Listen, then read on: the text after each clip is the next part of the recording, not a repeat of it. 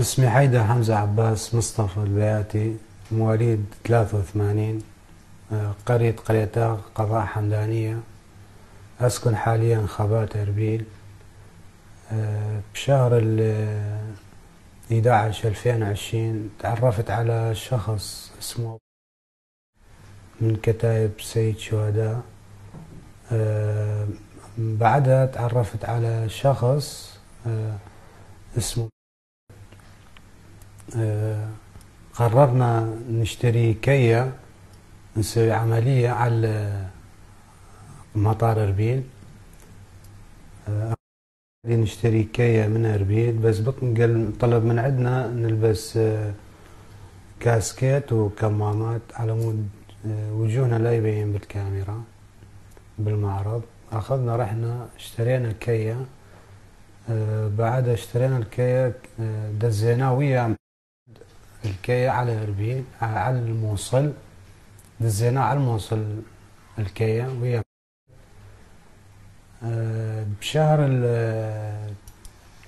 الثاني 2021 آه، خابرني قال أكو شخص يريد يسوي إقامة آه، جبت علي إقامة راح يسوي إقامة يحضر إقامة مالته على يوم العملية اسمه حض سوى الإقامة مالته ورجع.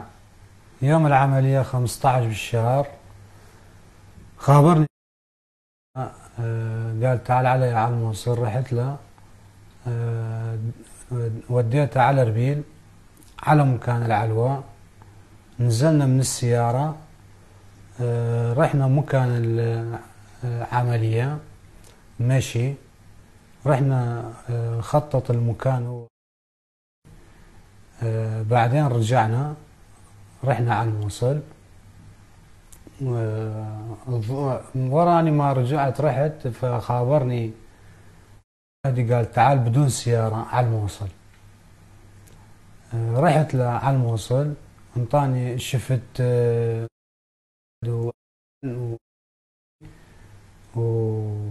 وابو انطاني الأوبترا سيارة خصوصي. قال لي أنت روح على اربيل إحنا نجي تاكسي فأني جيت آه، على اربيل هم آه، فاتوا دخلوا بتاكسي. بالطريقة مني قال روح آه، شوف لنا السيارة على طريق بردرش. رحت أشوف السيارة. وبعدين جينا دخلنا كيا دخلنا. نادي سوقة آه، دخلنا عاد آه، و آه، صعدوا بالكيا ورحنا على مكان الح... على مكان العملية ورا العلوة. هم قالوا لي انتظر بعيد عنا. بعدين إحنا من نخابرك تجينا.